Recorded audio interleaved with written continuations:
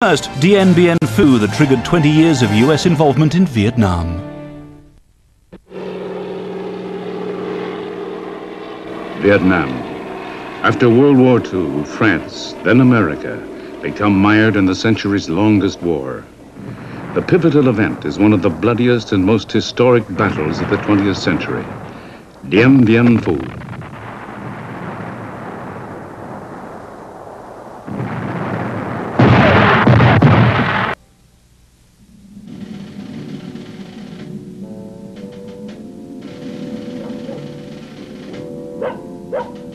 After the ruin of World War II, the European powers seek to regain their former colonies. Indochina is the most prized French possession, comprising Laos, Cambodia, and Vietnam. But the war in Asia continues.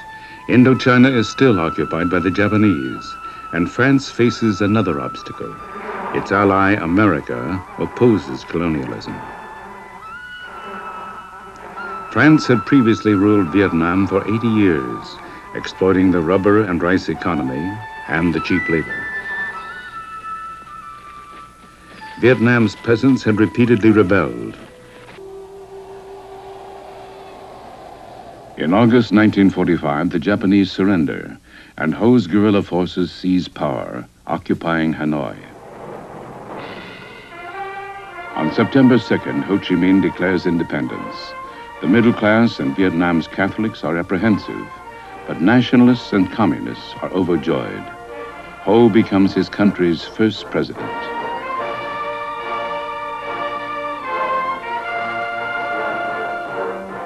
The French reoccupy Vietnam. Colonialism returns.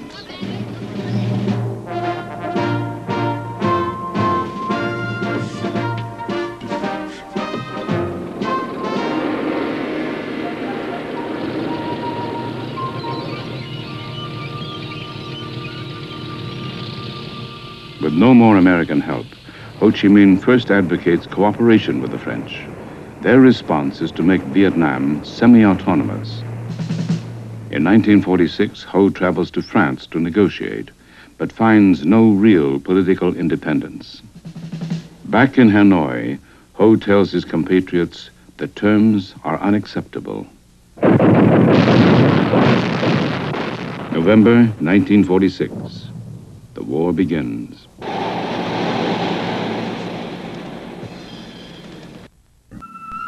In 1952, the Communist Viet Minh Army takes over the strategic valley of Dien Bien Phu.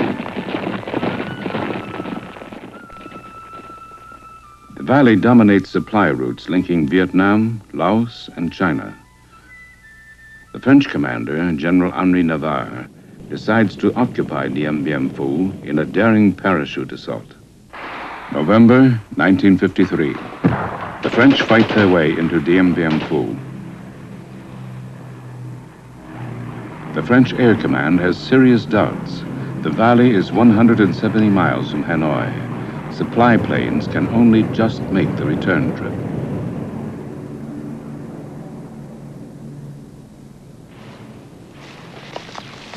French regional commander warns that Dien Bien Phu may become a battalion meat grinder.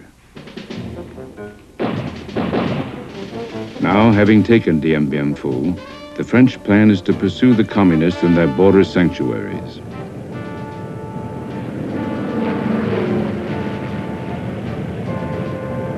An immediate task is to repair the old airstrip, the only link to the outside. The French land equipment suited to an attack base. They don't envisage a fortification. The communist force, the Viet Minh, has two choices ignore the French action or attack. Studying his tactical maps, the communist commander General Giap tells his officers, We will wipe out at all costs the whole enemy force at Dien Bien Phu. Giap is the master strategist throughout the Vietnam conflict. Six Viet Minh infantry divisions force march 20 miles a day. They head for a rendezvous with history across the distant mountain peaks. The French become aware that a communist ring is closing in the hills around them. General Navarre decides against pulling out, convinced his troops can hold. December 1953. Half the 15,000 man French force are Algerians, Vietnamese, and French legionnaires. Most of the equipment is American.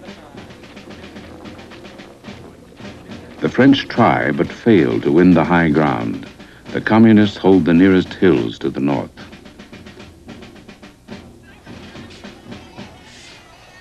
Beyond the eyes of the French, an army of 20,000 peasants and tribesmen clears the way for the coming soldiers. They labor to open up jungle trails.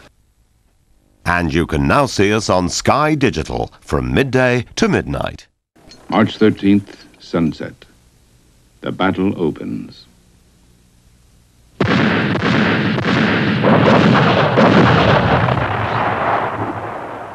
The communist artillery dramatically reveals its presence, pounding the unsuspecting French on the valley floor below.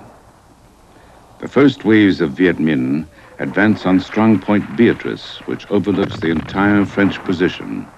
The communists launch a whole infantry division against it. Under the heavy shelling, only one French fighter bomber manages to take off.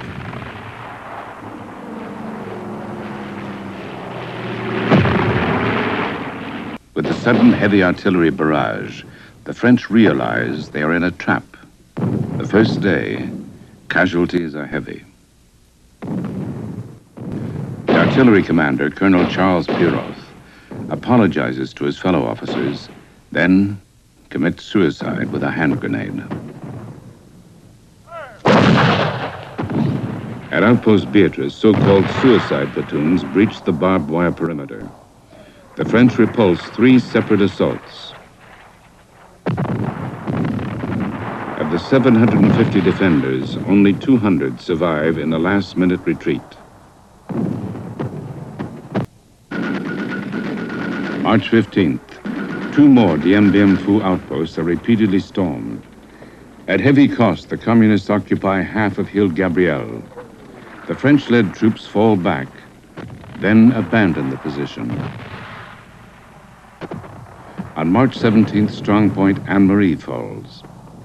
Now three outposts are silenced, but the French estimate communists dead at 2,500. With some hills covered with dead and dying, the Viet Minh pause. In a bold move to keep the aerial supply line open, the French go on the offensive. They use tanks to attack communist anti-aircraft emplacements on the western hills, flanking the main French forces. Several hundred Viet Minh resist fiercely.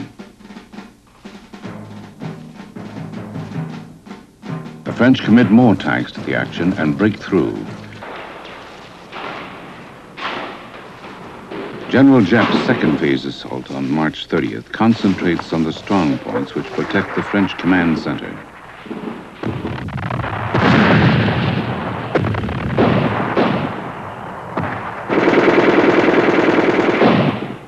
Two important outposts are overrun.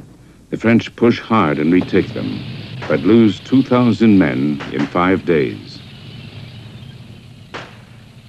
The Viet Minh enlarge the attacks, capturing strongpoint Eliane to the east.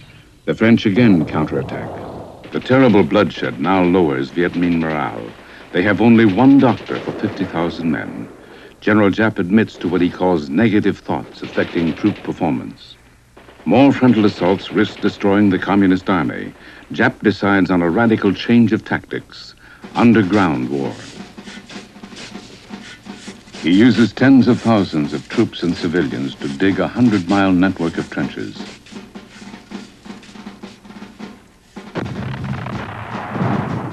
Soon, the six-foot-deep trenches reach like tentacles around the low hills in the valley's center. When the trench lines are complete, Giap resumes the offensive. Now his troops are almost face to face with the French.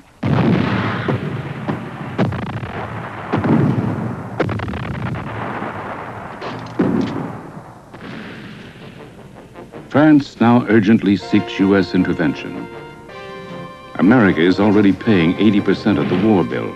providing giant Globemaster transports to airlift French reinforcements.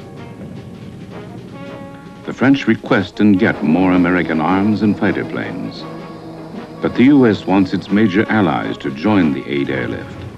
Britain refuses, fearing such intervention would escalate the East-West Cold War. America hesitates.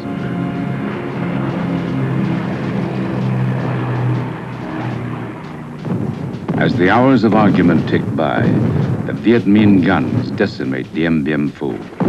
It becomes so bad the French cannot even bury their dead. Colonel Bigeard. All the able battalions had come, all the battalions. I kept telling my men, we must find a formula. We must hold on one more day. The Americans will not let us down. They may come. We felt we needed a day, an extra day. That is why we saw this thing through. Supplies are dwindling. By late April, the French control only a fraction of the valley center. Almost a third of the French force has been wiped out. The fate of the remaining 10,000 depends on getting ammunition and food, but pilots and troops are helpless as more and more supplies float into communist territory. The end is an anticlimax, resistance futile. 1730 hours, May 7th. Finally, the Valley Arena is silent. The Viet Minh victory has cost them an estimated 8,000 dead in the 55-day battle. But French Indochina is finished. Hanoi, October the 11th, 1954 the Viet Minh formally takes control of North Vietnam. Hanoi is a scene of mass ovation for Ho Chi Minh. Ho and his colleagues, in accepting partition, trust in the Geneva provision for joint national elections within two years. Is confident he will win, but the elections are never held, opposed by Washington and Saigon. A new war will gradually develop.